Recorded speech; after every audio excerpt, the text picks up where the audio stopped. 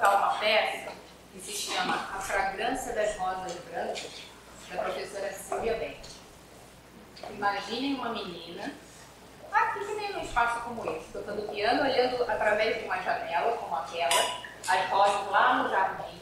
e a janela